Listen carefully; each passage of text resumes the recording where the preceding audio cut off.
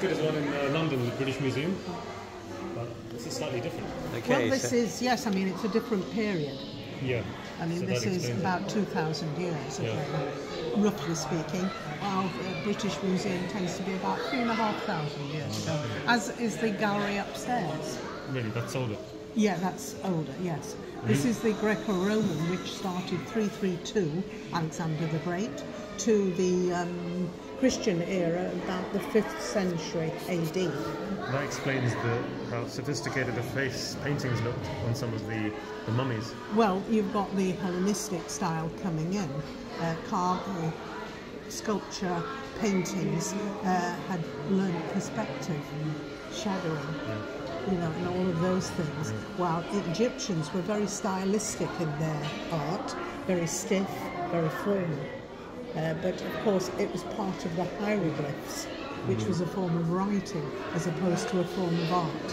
What I found fascinating is how the language from hieroglyphs evolves into some of the, uh, the, the later languages in the, in the region, and how that sort of evolves into Hebrew and Arabic, respectively. Well, I I've- think those were running alongside parallel. Were, were they? Yes, very much so.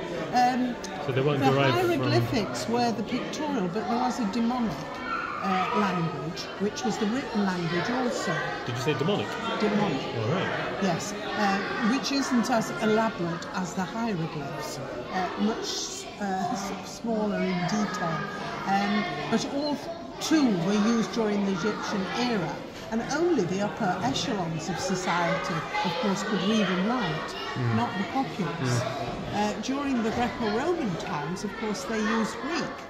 Uh, in fact, um, when the um, stone uh, was found with the three scripts on it uh, and the Rosetta Stone uh, with hieroglyphs, demonic and Greek, uh, Champollion, the Frenchman, was able to find the code. Yeah.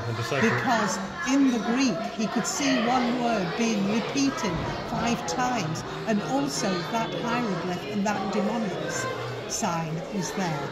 And he realized that it was all the same words, but in three different scripts. So they had a script specifically for what the, the their belief in the demon realm, the realm of the demons. Is that is that what you mean by demonic script? No, no, No. no. Oh, no. I've got it completely wrong. I? No, no. Um, these, the script uh, was just a name given.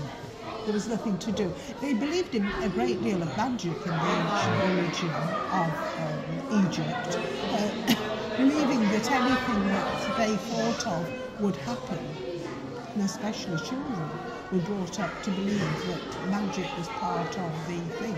But of course, to the ancient Egyptians, it was the afterlife that was important, not their everyday life, because that was very short. Amazing. Uh, you know, uh, afterlife was for eternity, so they believed. So do you, Egyptians in general were they very superstitious in nature, or Yes, they were? very much so. Yes. Amazing. Yeah, that's fascinating. Yes. Thanks. Mummification, ancient Egypt.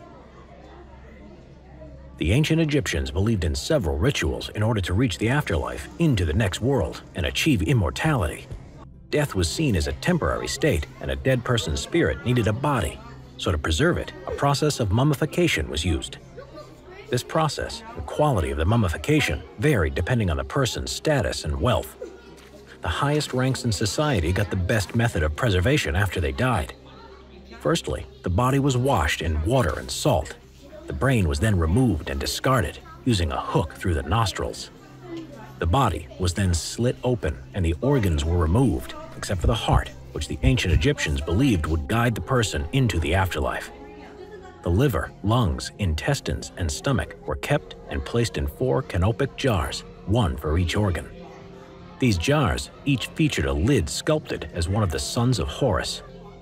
Hapi, who protected the lungs, Duamutef, the stomach, Imseti, the liver, and Qebehsenuef, the intestines. The body was then filled with myrrh, cassia, and other spices, then sewn up together and packed with a special salt called natron for up to 70 days, which prevented the flesh from rotting.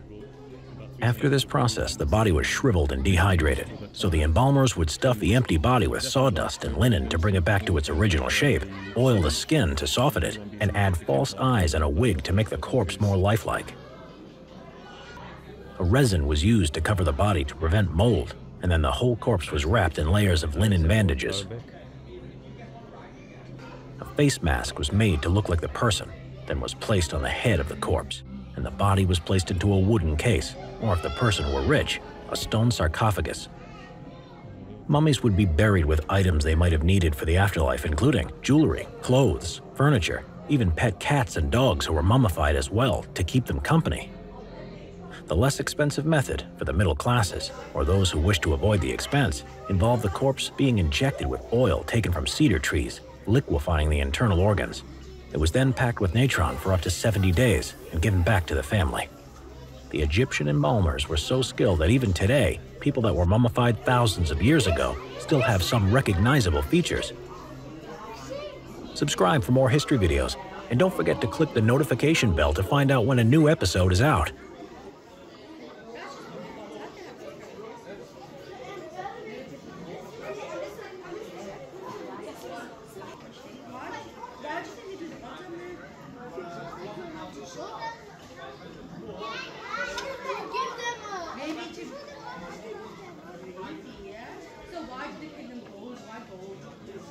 祝我们两。